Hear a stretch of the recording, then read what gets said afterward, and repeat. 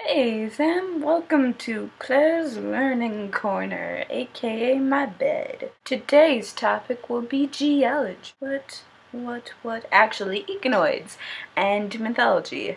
Now, echinoids are basically just sea urchins or sand dollars. Echinoids are a kind of species. They're plant. They come in these like they either come in these like little balls that are covered in long spikes or they come in flatter layers that are covered with short closer together spikes. There are 900 different species of echinoids. What craziness. There's only one species of humans. So they have us beat there. And they've also been around for a really long time 400 million years. 400 million years. Humans probably won't survive that long. No offense, humans, but I mean, look what we've done in the past couple thousand years. So, echinoids are super cool. And humans are super into fossil echinoids. We've made them tools and jewelry, and here's a picture of a hand axe that has a fossil echinoid in it. This is from the early Paleolithic period, which was quite a long time ago. But we've also used them in tons of mythology. But they've they've been used in mythology all around the world, pretty much everywhere, but North America, Australia, and Antarctica, four out of the seven continents, which isn't bad.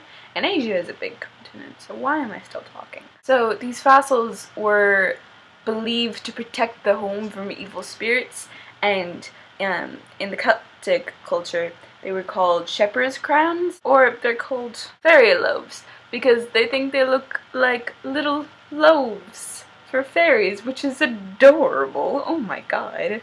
Um, and they thought that if you kept a fossil echinoid in your house, then you would never go without bread, and that if bakers kept them near their oven, then the bread would always rise, which is just lovely. Norse mythology called these thunderstones um, because they believed that Thor sent the echinoids down in during lightning storms.